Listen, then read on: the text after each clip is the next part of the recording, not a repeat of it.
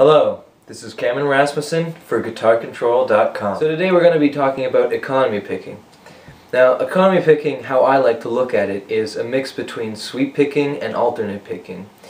And it's more akin to alternate picking in the way you use it in a lick.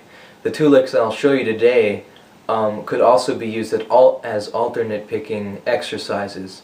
But when you use economy picking, economy picking is a way that you can play something much faster than you can with alternate picking because you can keep your right hand much more relaxed and you can play the same lick as you would with alternate picking with less motion.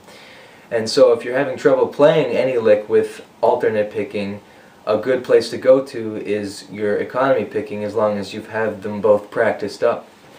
Economy picking is um, why I said it's a mix between sweeping and alternate picking is because what you're doing is you're basically alternate picking but you're kind of doing a half sweep to the next string.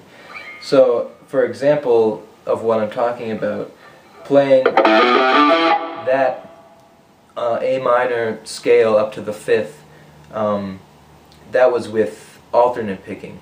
But I'll do it with economy picking and what that is, is down, down, uh, downstroke first, upstroke, downstroke, and then another downstroke to the next string, and then upstroke again, starting the pattern over and over again as you move up the strings. Now it requires less motion because instead of hitting the next string with an upstroke, you're hitting with a downstroke, which requires you don't have to change direction with your right hand. So the first lick I'm going to show you today is a hexatonic A minor shape ascending in three octaves and I'm going to do it ascending and descending using economy picking.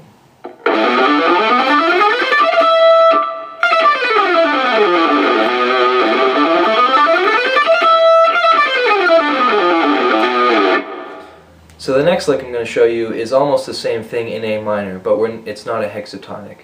It's going to be a regular ascending scale but we're going to do the same pattern in two octaves and it's going to require some change of direction in our right hand making it a little bit harder which is a good exercise to develop your economy picking. Here we go.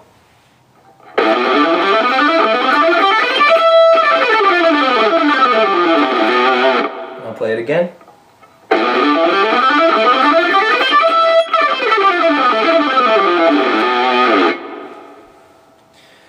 So, there are two exercises that are really good for practicing your economy picking.